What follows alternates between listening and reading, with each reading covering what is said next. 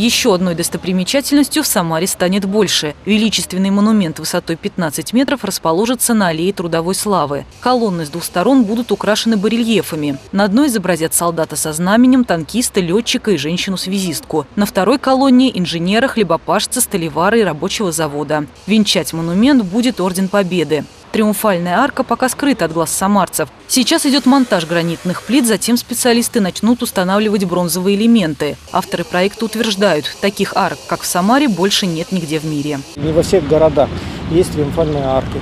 И в Самаре это уникальная арка тем, что тут отображается подвиг советского человека во время Великой Отечественной войны как на войне, так и в, труду, э, в тылу. Триумфальную арку планируют открыть 7 мая. К этому времени благоустроят прилегающую территорию. Участок около монумента вымостят плиткой. Также в этом году преобразится вся аллея трудовой славы протяженностью почти 2 километра. Промышленные предприятия города приведут в порядок 11 монументов и архитектурных композиций, посвященных трудовому подвигу Самары в годы войны. Глава администрации Самары Олег Фурсов поручил привести в порядок деревья и фасады близлежащих домов, а также убрать с территории незаконный киоск. Крайне важно, чтобы эта точка имела соответствующий вид, привлекательность и напоминала людям о том вкладе, который внесли трудовые коллективы Самары, победу как в Великой Отечественной войне, так и в развитии нашего города в послевоенный период.